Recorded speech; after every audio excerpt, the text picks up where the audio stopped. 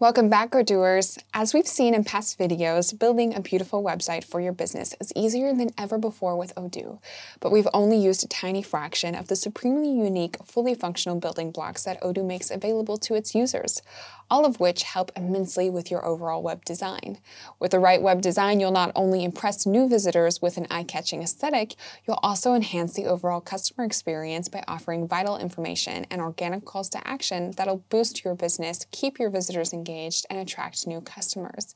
And the best and easiest way to accomplish that goal of superior web design is through strategic placement, use, and configuration of key building blocks. That's what I'm trying to figure out for my company, Stealthy Wood. So let's take a closer look at some of these building blocks. All right, here we are on Stealthy Wood's gorgeous homepage. Let's hop into the edit mode and see what Odoo has to offer as far as building blocks go. And we're gonna start with the structure section. And most of these blocks are self-explanatory. So we're gonna start with the features block, which I'm gonna drag and drop to the bottom of my page. Now, this block is like the columns block, only it uses simplistic icons rather than images. This is a fantastic way for companies to quickly summarize aspects of their business to new customers who may be curious about these kinds of details. Next, we're going to drop the um, masonry block. And this visually stimulating layout can be incredibly useful for companies who focus on design and want to present information about their business in a similarly appealing way. And of course, like every other building block in Odoo's website builder, it is entirely customizable, so you can quickly and easily personalize any aspect or detail to fit your company's needs in just a few clicks.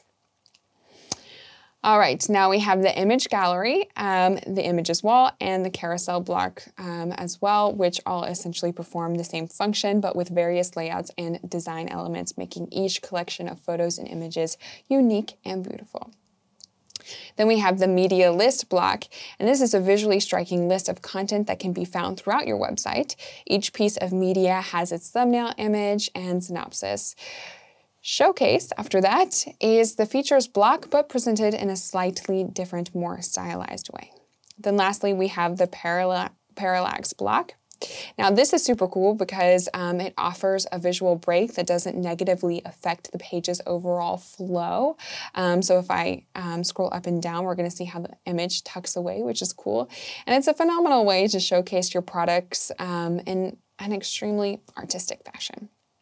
All right, so let's move on to the features section. And we're gonna start with the comparisons block, of course, which I can drag and drop here um, over the parallax block, but I'm going to drag it and drop it at the bottom. Now this block is perfect for companies that sell varying packages or services and want to showcase their different price levels to inquisitive customers, or visitors, I should say. Then we have the team block. Now this is a great um, uh, block to use for businesses looking to win over new customers. This block is an awesome way to humanize your company and give props to your hardworking team members as well. Then we have our call to action block, uh, which is fairly basic. It, um, it just is a break in the page with concise copy, quickly encouraging visitors to navigate to another section of the website for one reason or another. All right, and then we have our references block, which I'm gonna quickly drag and drop as well. Um, and this is just another fantastic way to prove your legitimacy to new visitors. Um, once they have seen this uh, group of familiar companies who also support and or work alongside your company, they'll be more likely to give you the same trust. And the minimalistic way uh, these references are displayed isn't jarring or disruptive. Everything is incredibly cohesive and stylized, which is really nice. All right, then we're gonna go ahead and check out the accordion block. And this is great for companies that need to succinctly present technical complexities or legal jargon to potential customers without getting in the way of the overall web design right? After that, we have our features grid and our table of content. Uh, but now I'm going to go directly to the price list block, which I'm going to drag and drop to my page. This is ideal for showing off um, your menu if you're if you're a restaurant. Um, but this block could also be used to artistically display the varying values of items or services one might find in the e-commerce portion of any company's website, regardless of industry. All right, then we have our items block. And this is a tremendous way to showcase featured products that you can link directly to product pages in your eShop. This way, a customer could potentially purchase an item from your online store in just a few clicks, which sounds pretty nice, doesn't it? All right, rounding out the features section of building blocks, um, we also have um, tabs, which is a useful block designed to creatively present a few different categories of content to your customers in one efficient space. Following that, um, we have the timeline block, which offers a visually pleasing way to quickly share the history and evolution of your company. And we also have steps as well as quotes. Now let's go down to the dynamic content section of the building blocks. And all of these have more detailed features, but are just as easy to customize and configure as the others that we've seen. The level of intricate design and detail that these blocks add to a website is truly phenomenal. So definitely take advantage.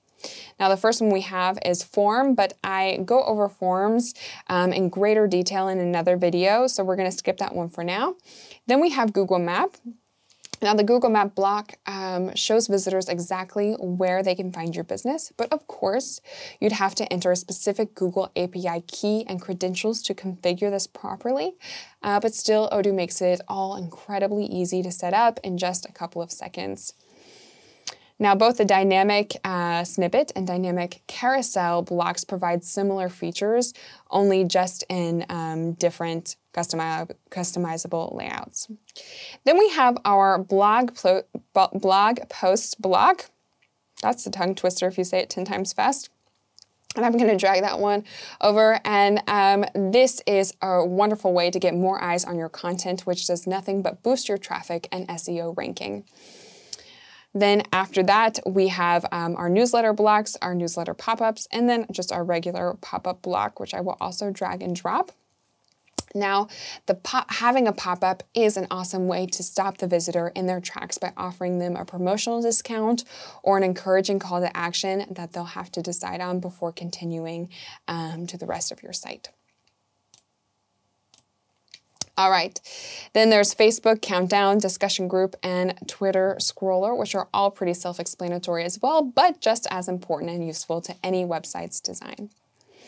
Finally, we have our inner content section, which is exactly what it sounds like. It's full of design elements that help organize the information and content in your current building blocks. Things like the separator, alert, rating, card, share, newsletter, text highlight, chart, progress bar, badge, and block quote. And they are all there to help you create a truly personalized, professional grade website for your company in just a few clicks.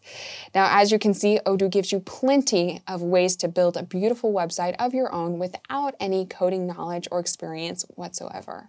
And it's all thanks to their incredible array of easy to use building blocks. Web design has never been this easy. So right now, I'm going to go through and see if I want to keep any of these blocks that I've added for Stealthy Woods website.